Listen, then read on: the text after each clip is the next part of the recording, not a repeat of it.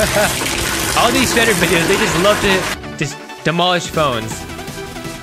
Those phones are still pretty expensive, like $100 each. This guy is rich if he can do this. Okay, we got some red debris going in. Next up, a banana. A plastic one. I don't know why they don't use the real deal. Ah, it's easier for these shredder people to clean their machines if they use uh, plastic things instead of mushy things. Whoa! I love the crunch sound on it. It's almost like an ASMR video. Ooh. That's pretty gunky. Look at all the the soft stuff just getting caught in the gears.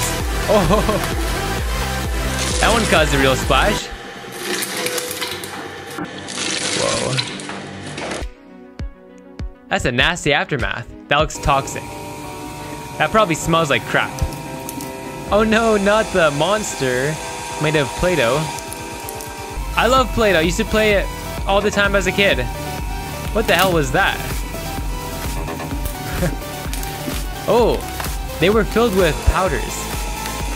Looks like something else, if you know what I mean. Rainbow Play-Doh, let's see how this one goes down. Piece of cake for the machine. Didn't even have to blink. Whoa. What is that? That looks so satisfying. I've seen that material before on Instagram. I want to play with that stuff. Look at the right of the gear machine. Look how powerful the gears are. That thing can crush anything. Whoa. that slime didn't even cause it to to buckle or anything. Whoa, what is that? Pop, there you go, it's like a balloon. What is? I've never seen that before in my life.